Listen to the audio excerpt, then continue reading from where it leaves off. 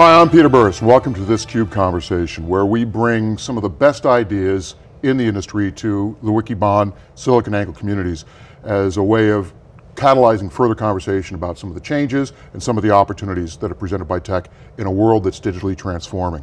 We're being joined today by Bobby Patrick, who's the CMO of a company called UiPath.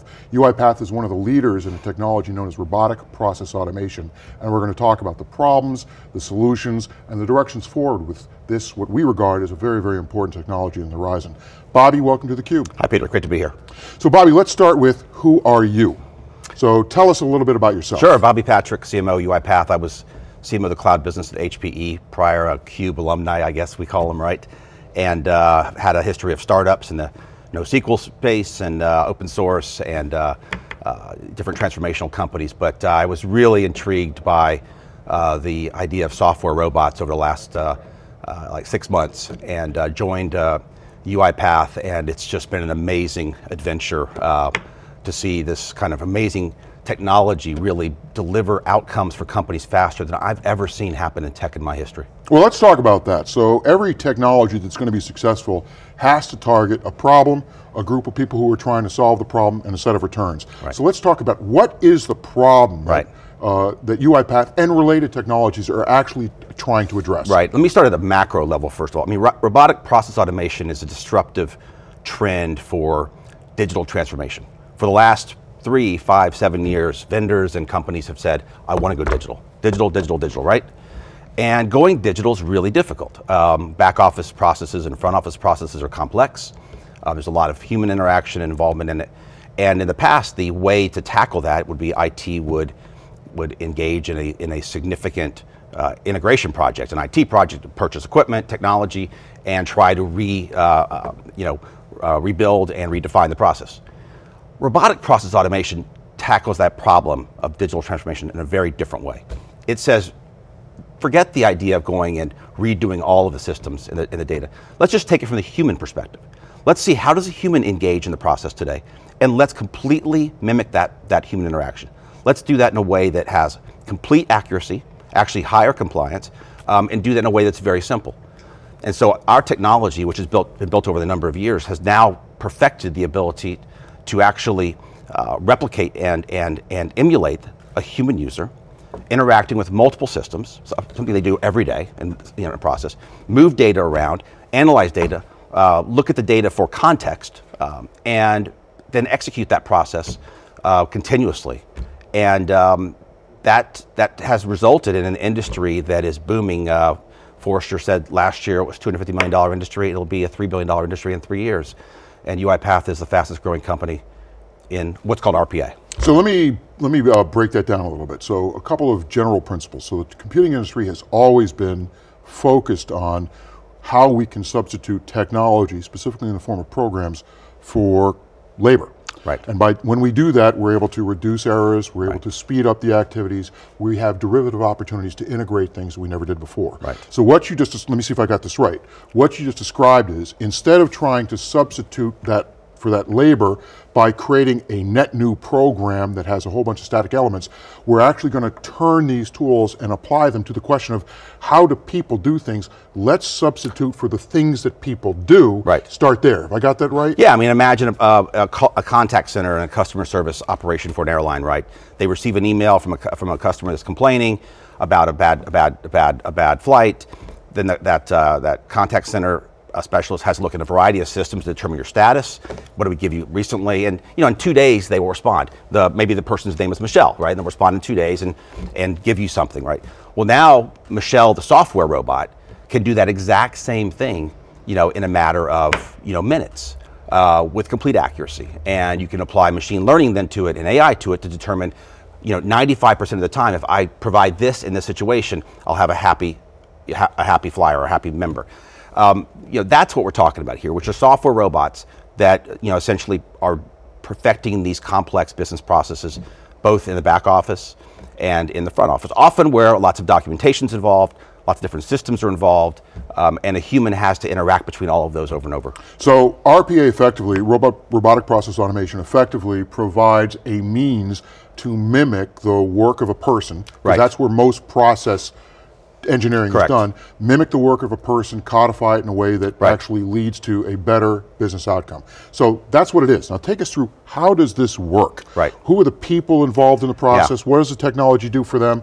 How long does it take? Give us a little bit about So one of the that. beauties to RPA is that this doesn't require deep engineering talent to be able to, you know, build a software robot and, and execute it. In fact, some of the breakthroughs in the technology that's been created at UiPath, you know, our um, you know a studio designer, which looks much like Visio, where you can drag and drop a workflow, where subject matter experts are becoming the, the, the next coders, really, where they can actually design the workflow. There's actually a recorder function that can actually record the user. So that's where it starts. It Right. starts with the recorder looking at how people are doing things Recorder. and picking up that and turning that into semantics that are meaningful to yeah, defining a workflow Got of which has exceptions and, and, and, and handling. I should mention, you know, the- when you're creating uh, or, or, or you're automating the process, there are really two kinds of robots you're, you're, you're, you're designing. One is one called an, an attended robot, where along that workflow, that robot's going to stop and ask a human a question.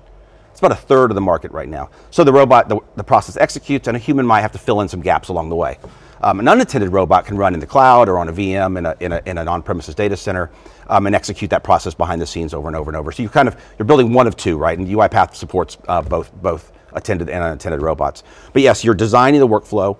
That workflow may interact with a variety of systems. You might receive an email um, and read the email. The robot reads the email. You might actually log into Salesforce.com to find out if, if they're a customer. You might actually upload the email as, a, as an artifact. You might then uh, download some information, put into a PDF, and send it on. That's an example of a workflow that you're automating end to end. So we've got that workflow designed. Right. What are we doing next with it?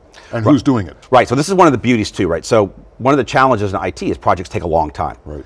But in RPA, what's And they fail. And they fail, right? What's interesting in RPA, what we've proven now is you can pretty much uh, uh, begin to digitize a process in a matter of weeks. The outcomes are almost immediate, um, and payback periods are often six months or less, right? You can an RPA project almost self-funds itself, which is one reason why I think this has taken off so um, uh, so fast as well. So if we want to get a payback period in six months, it means that the whole notion of how fast does it take to get a group up and running Right. on this becomes crucial. So what is Yeah. RPA typically, who's, who's it typically targeted? Is it a professional software developer? Someone with no technology expertise?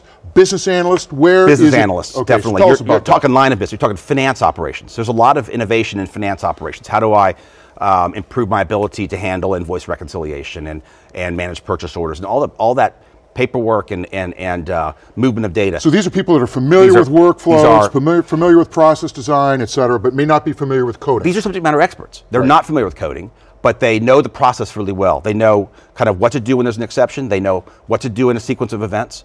Um, and so that's why you know, we often say subject matter experts are the next big coders because they, they can actually go and learn. In fact, UiPath, we have, a, we, have a, we have a program called an Academy. Academy is on our site.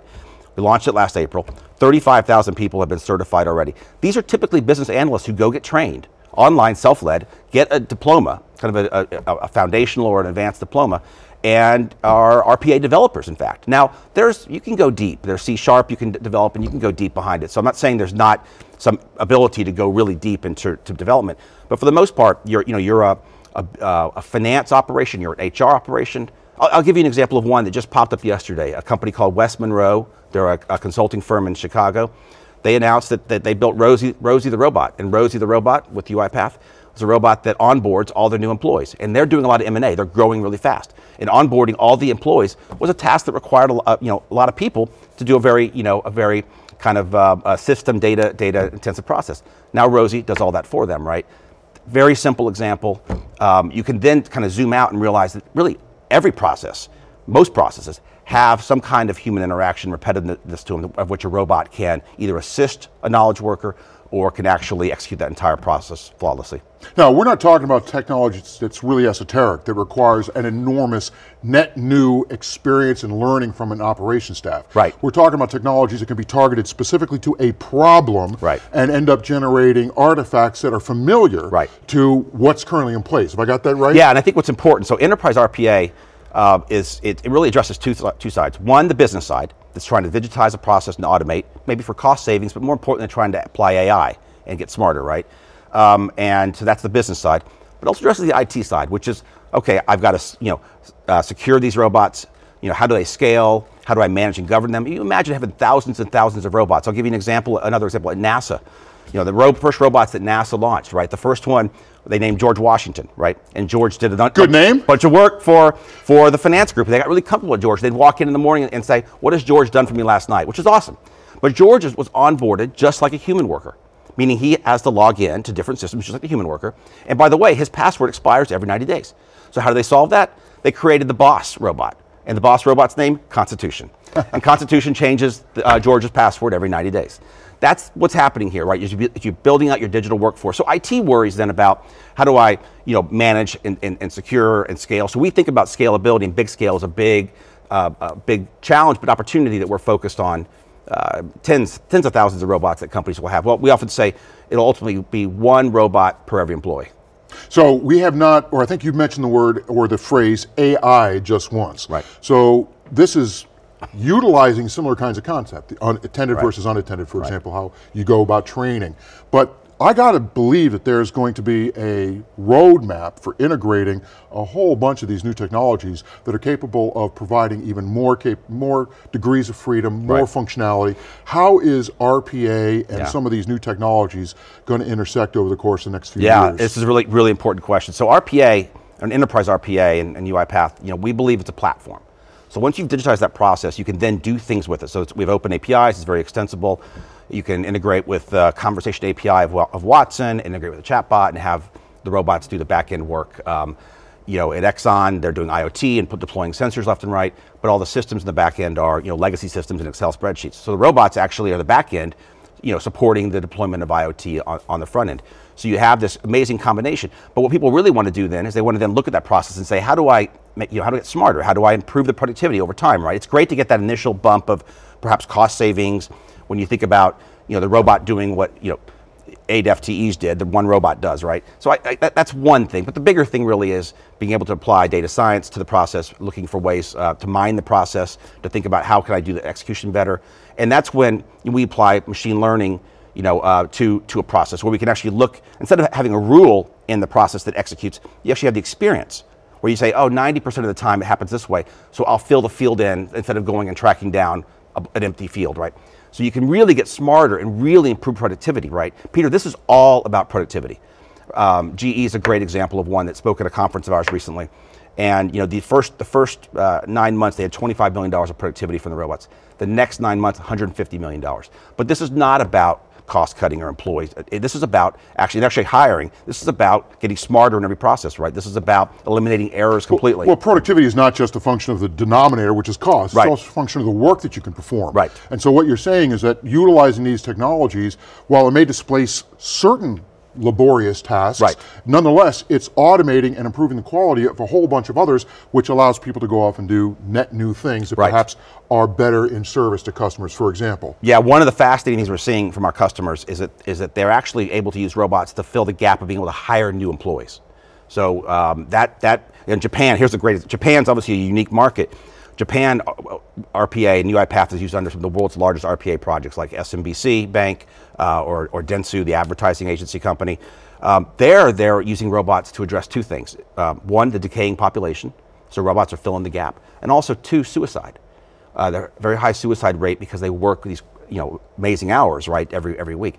Well, they're actually using robots to reduce the number of hours as the robots complement the work of the workforce um, in in Japan. So you know what we're really seeing, interestingly enough, is is that robots are actually filling the gaps, right, and, and beginning to do work that of a, of a workforce that maybe you, you wish you could hire but you can't hire.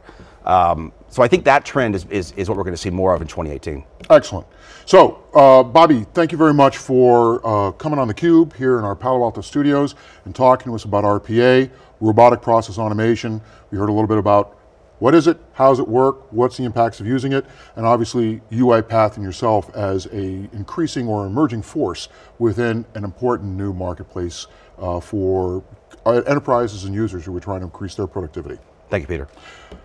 Once again, this is Peter Burris in a CUBE conversation with thought leader Bobby Patrick at UiPath. Bobby, again, thanks for coming. Thank you.